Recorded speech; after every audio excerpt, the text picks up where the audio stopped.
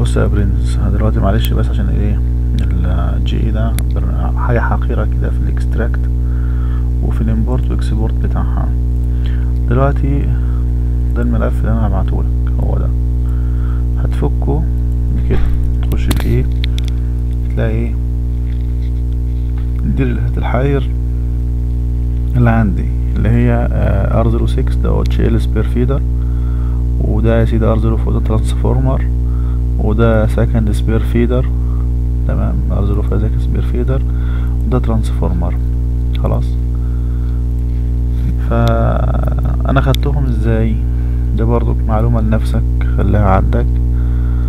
بتروح أنت على ال source بتاع البرنامج في ال C وتلاقي حاجة اسمها اللي هو GE Power Management هتلاقي أي ملف dot URS فهو ده الملف بتاعك. أنا عندي طبعا مشكلة مش عارف ليه آه، ال- الحاجات دي مفشخة نصين رايحة في ناحية في كل حاجة في ناحية. مع إن الأصل المفروض تلاقيها هنا في ال users بعد كده تخش على ال public public document تلاقي هنا الباور مانجمنت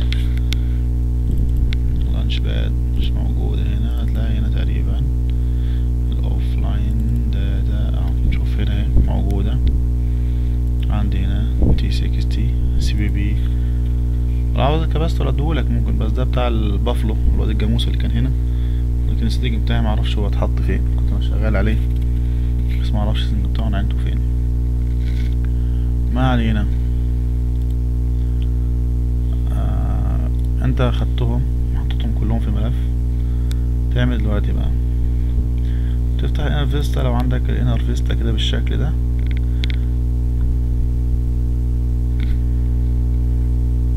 أي setup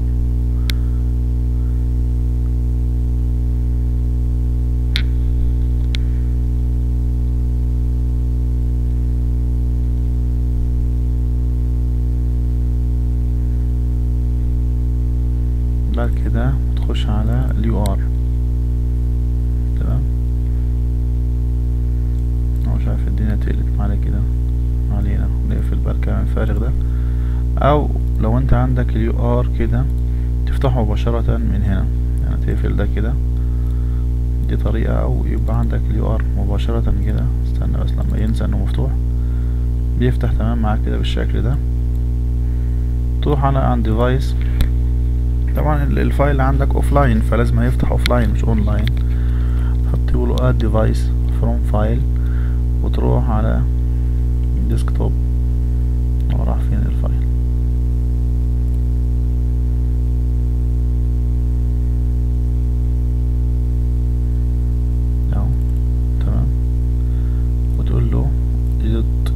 S وتدخل بقى ال- ال file اللي انت عايزه تمام؟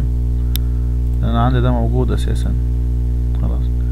ف وليكن اتك على ده أي حاجة وتقول له open فبيحمل ويجيلك في ال offline بتاعك. طبعا هو عندي كان هو حمله برضك تاني عندي هنا أهو عمل duplicate أهو. خلاص. وتبدأ تفتحه تتعامل معاه. عادي جدا. وشوف السيتنج كله عليه. لو أنت بقى عندك ريلاي أونلاين متوصل معاك يحمل بقى ربنا يدي أنت والسلام تمام؟ تقدر تشوفه بقى اللي أنت عايزه من هنا كل حاجة عندك. طيب ده السباسنج ده الأونلاين بتاعك. تفتح الأونلاين. تمام. أنت آه، هتعرف ديفايس جديد. ديفايس اب وتقوم جاي جاي هنا وتقول له add add device وتدخل ال parameter بتاعتك اللي انت عايزها. لو هو اونلاين طبعا بيبقى أسهل بكتير. اونلاين تسمي ال- ال device بتاعك وال description ده شغلته إيه بالظبط. تختار ال color code بتاع ال- اللي انت عاوز الأشكال دي. زي ما نختار أزرق واحمر واسود خلاص وتقول له ال interface بتاعه إذا كان serial أو ما إلى خلافه. وتقول له read order code فهو اوتوماتيك بياخد ال order code بتاعك وال version بتاعتك. على حسب لو ال baud rate مظبوط وكل حاجة مظبوطة. طب لو انت ما عندكش device online وعاوز تشغل تعمل الشغلة دي بتحط ال order code اللي هو مكتوب لك هنا في ال offline وال version بتاعه وتقول له okay بيطلع لك هنا. تمام؟ انت عملت ال عملت الكلام الفارغ ده كله.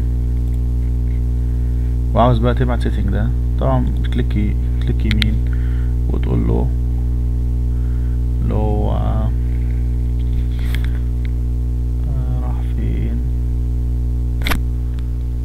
write setting to device معلش.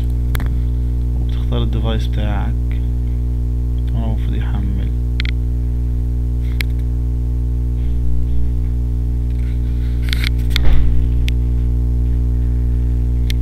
تمام تختار ال- ال device اللي انت عايز تبعت عليه وتقول له send يبدأ يحمل لك كل ال data ال offline دي على ال relay online ولو اونلاين هيقوم رازعها على طول في وشه على طول مرة واحدة.